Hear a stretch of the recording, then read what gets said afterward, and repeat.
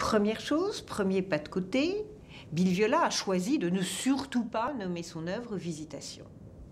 Il l'a nommée Greetings, c'est-à-dire salutation, le retrouvaille serait probablement mieux.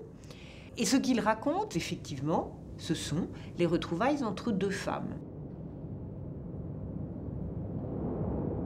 I'll tell you a story. Okay? Uh, sort of getting a little bit interested in the Renaissance, but not, not that deeply, because I was much more interested in going